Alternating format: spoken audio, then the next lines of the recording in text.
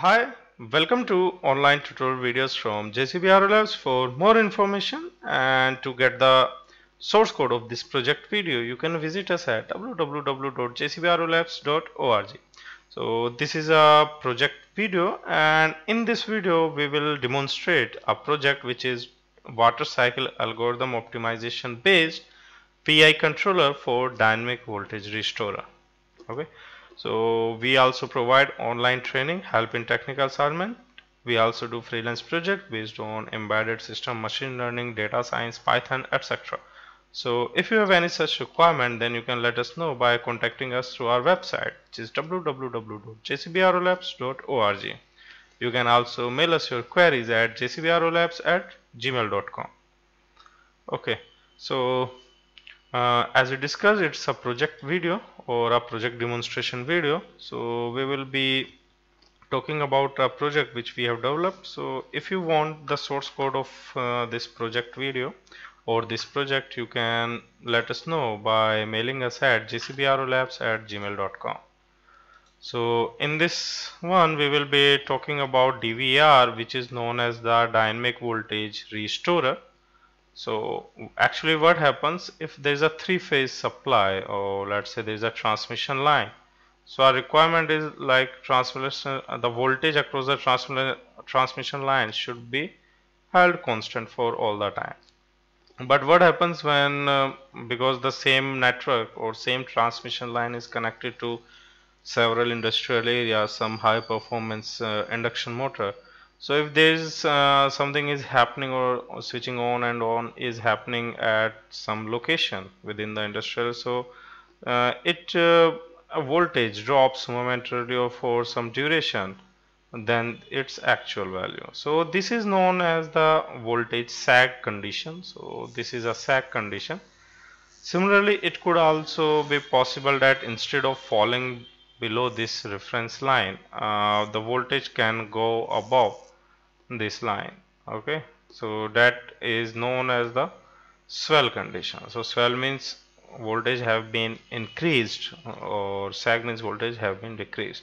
So if uh, some sensitive instruments are connected to those transmission line and if this kind of sag and swells are happening uh, within uh, this uh, system so they could affect adversely to our uh, sensitive equipment. So there is a requirement of a system which uh, detects this sag and swell and then uh, uh and then uh, maintain the voltage at the reference value or the desired value. That means if we pass if us let's say there is a transmission line so there is a DVR is connected in series with this transmission line and then this DVR restores the voltage. So let's say if they uh, this is the voltage and sag is happening here uh, sag is happening like this so the output of the DVR or the voltage at the uh, load will be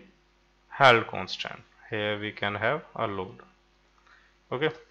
So this DVR is a series device and a coupling transformer is connected to it. I hope you are very familiar with the basic uh, structure of it. So in this video we will be demonstrating it how we have simulated it.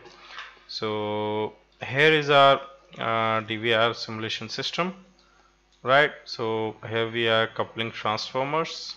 Here we have a programmable voltage source. So we have simulated this voltage sag and swell using this programmable uh, voltage source. Other possibilities like we can use this there could be a fault in the system. Uh, even then we can use uh, those simulation can be used here okay?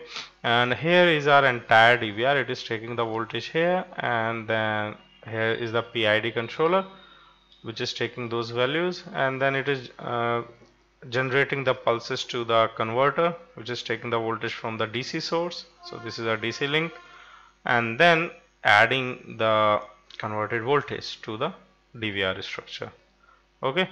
So this is how we have created. So now obviously the question is how to find the parameters of this uh, PID controller to get the desired result right?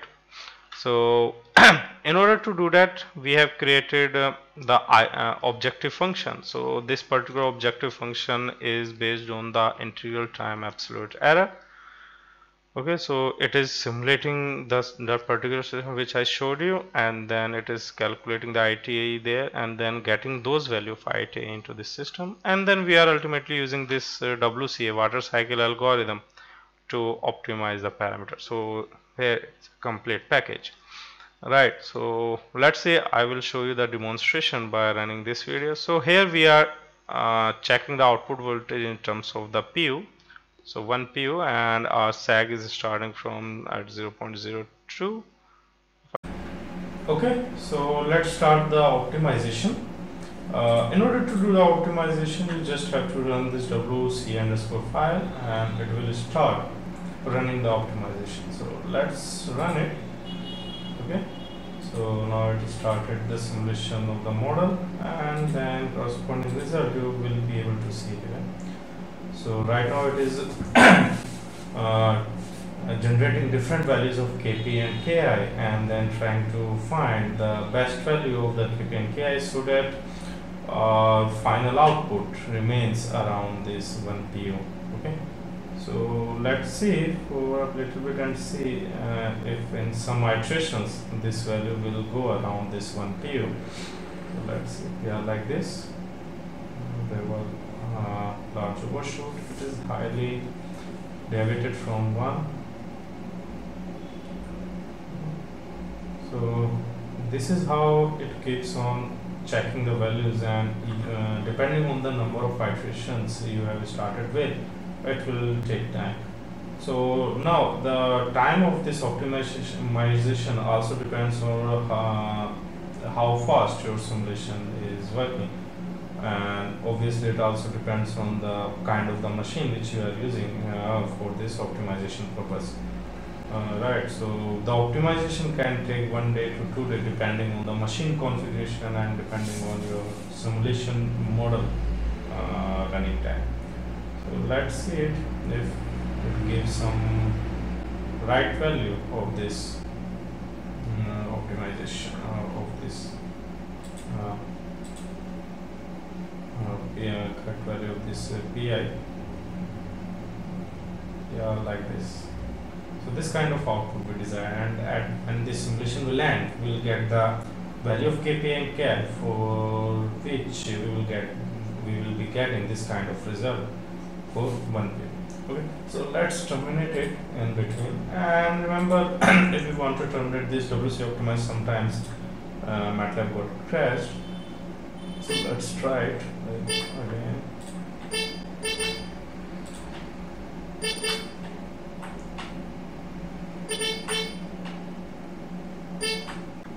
It's got terminated. So uh, when you will uh, run this uh, optimization completely, then you will get the final optimized result output. Now we also have created another file in which we optimize the same model using WCA and PSO algorithm and store the results and then uh, through this file we are plotting a comparison um, between these two. Uh, so let's try to run it. Okay. So further, uh, this particular model are for uh, for uh, uh, 220 volt voltage supply. This should not happen comparison evaluated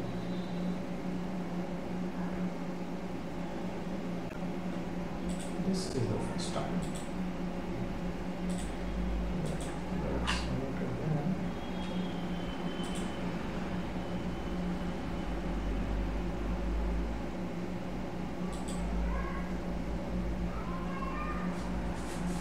Okay, so this particular DVR model is running for 220 volt power supply and so the RMS value is 311 volt. Uh, RMS value is 220 volt, so peak value is 311 volt and these are the results which we are getting. So this is the supply at the source. Here we are getting a sag and this is the uh, waveform at the load side. So I think uh, it has mitigated the sag and the corresponding DVR mitigated within 0.05 second and after that uh, the same reference value voltage is being applied available at the voltage side. So this entire side has been removed. Similarly these are the waveforms for PSO optimized files. And we want to see the comparison then these are the comparison comparative results with respect to one PU okay so if you see carefully here PSO is little bit um, I can say uh, perform better than WCA because uh, PSO optimized results are uh, around 1 PU uh, sooner than this WCA results.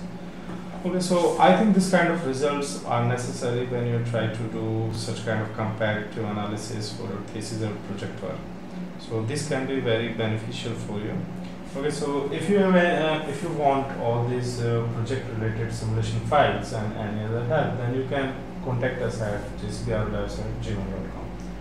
So uh, in this video, we have we have demonstrated the project video of this DVR Further, we also provide online training, help in technical assignments. We also do freelance project based on data science, Python, machine learning, etc. So if you have any such requirement, then you can let us know by contacting us through our website, which is www.jcbrolabs.org.